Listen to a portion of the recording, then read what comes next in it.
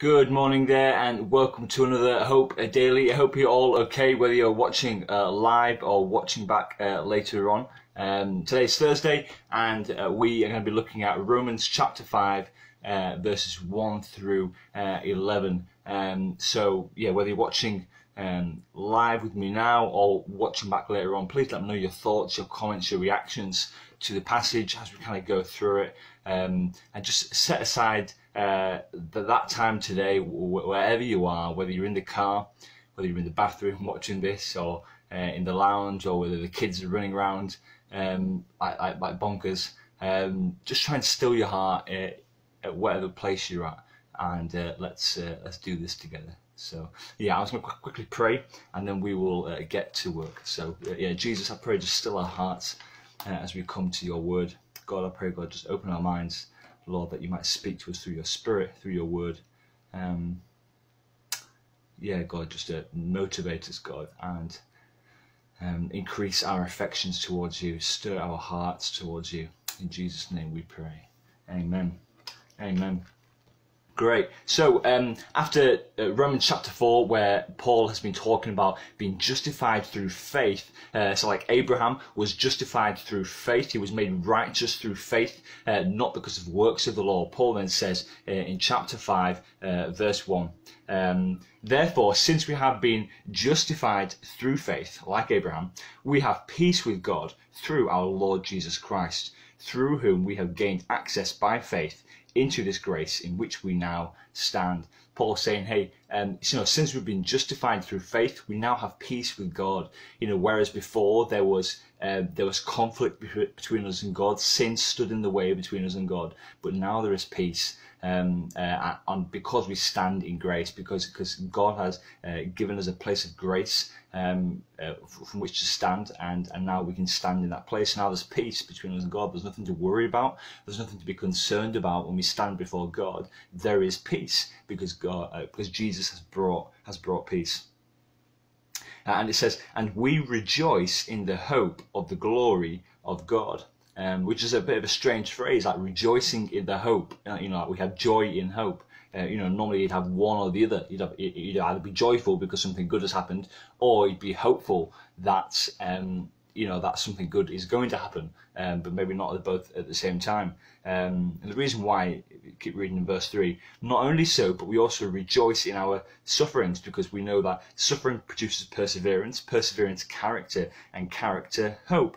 And hope does not disappoint us because God has poured out his love into our hearts by the Holy Spirit, whom he has given us. Paul saying, hey, even though life looks a little bit bleak, even though you're going through suffering, even though you're going through hardship, you can still rejoice in that moment because suffering produces perseverance. We, we, we persevere through suffering. That perseverance brings about a godly character. That godly character clings onto hope. And so, really, like times of suffering and hardship increases our hope and our dependence uh, on God. Is that ultimately we look forward uh, to something great that is coming. And so, we can rejoice when we suffer. We can re- re- rejoice when we're going through hard times. We can re- rejoice and find happiness in God. Um, you know, during this pandemic, why? Because we're looking forward to something great. Because we know that something great is coming. We are rejoicing in the hope of God. We are rejoicing in our hope that something good is coming. Um, it's sort of like that feeling that when you know when you're busy at work, um, maybe you're busy typing away at work and uh, and you're kind of smiling to yourself because you know at the end of the day you're going to clock off and you're going on holiday holiday for a few weeks uh, a few weeks a few weeks that's weird um, or, or, you know that um, you know next week like you're going on a vacation or whatever um, and, you, and you're smiling to yourself because, because you're looking forward to something you have a hope in something and you're rejoicing because of that. Uh, that thing hasn't come yet but you're happy just in the hope that that thing is coming. Um, and that's kind of like what the Christian experience is is that we have such a hope in God that something awesome is coming all of God's goodness um, all of God's life is coming and we rejoice in that hope uh, so it means that we can have a happiness about us, we can have a joy about us, uh, we can have like a rejoicing nature about us because we are we are we um, are, are rejoicing about a hope that we have um, about something great that is that is coming. It means that during suffering and perseverance and and hardship, um, you know, it doesn't need to be dark. It doesn't need to be bleak. Uh, we can rejoice in the hope of God. And then it says, verse six, uh, you see, you see, just um, at just the right time, when we were still powerless, Christ died for the unrighteous. For, for, for the uh, for the ungodly, very rarely will anyone die for a righteous man, though for a good man someone might possibly dare to die. But God demonstrated His own love for us in this: whilst we were still sinners, Christ died for us. Um, you know, is that you know we were like enemies of God. We were we were still sinners, but even though we were still sinners and lost in our sin, dead in our sin and transgression, Christ died for us. Um, so therefore there is peace. You know, there's nothing to worry about. You know, if Christ died for us when we were still when we were still sinners, then um, you know, the, the, the, deal has been done. You know, there is now peace between us and God. There is only a hope of good things to come. There is not fear of retribu- retribution. There is not fear of condemnation. There is not fear of judgment when we stand between us and God because we know that Christ has brought peace. And that is something that we uh, rejoice in and look forward to. Verse 9 Since we have now been justified by his blood, how much more shall we be saved from God's wrath through him? For if, when we were God's enemies, we were reconciled to him through the death um, of his Son, how much more, having been reconciled, shall we be saved through his life? Not only is this so, but we also rejoice in the God, uh, in God through our joy, through our Lord Jesus Christ, through whom we have now received uh, reconciliation. So, so we rejoice in the God who even though we even when we were powerless, even when we just had no um, spiritual capital before God, um, when we were dead in our sin and transgression, even when we were enemies of God, He died for us. He expressed mercy to us. He expressed grace to us. Nothing on our part, and that's what we rejoice about. Um, you know, if that if God can do that, then you know, no, no, nothing else really, nothing, nothing else really matters. Um, you know that we go through times of hardship and um, and struggling, and you know, but all of that seems to vanish away when we place our hope in God and we start to rejoice in that that something awesome is coming. Um, so yeah, so there we are. That's, that's Romans five verses one through um, eleven. Um, so let me know your thoughts and your comments, uh, your uh, reflections on the passage. Um,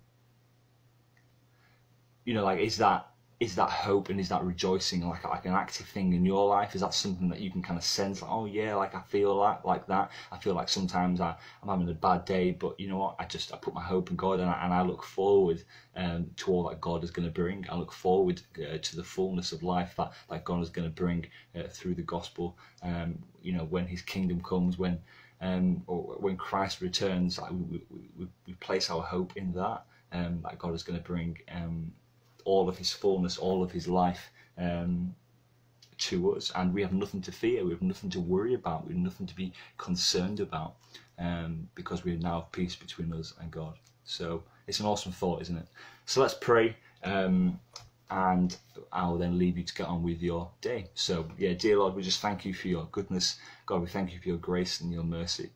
God, that even when we were powerless, God, even then, even when we were dead in our sin and transgression, even when we were enemies of you, Lord, when when when there was no right or reason, Lord, to uh, to justify us, God, you died for us. God, that you died for your enemies, you died for your uh, for your offenders, for your uh, for those who rebel against you, God. And so now, Lord, we have peace between um, between us and you. So God, we just rejoice in the hope of God. We, we rejoice in our hope that we have in you, Lord, because we look forward to, to something great that is coming, God. We, we look forward to your kingdom. We look forward to your presence. Uh, we look forward to God, to all the all the great and good things, God, that you will bring. We look forward to heaven and earth becoming one again, um, and you ruling over all things. So Jesus, yeah, we just place our hope in you today, and we rejoice in that hope. In Jesus' name, Amen. Amen. Great. Well, have an awesome day, guys. Um, um, someone will be with you tomorrow for the next passage. It might even be me. Uh, and uh, yeah, have an awesome day. Bye bye.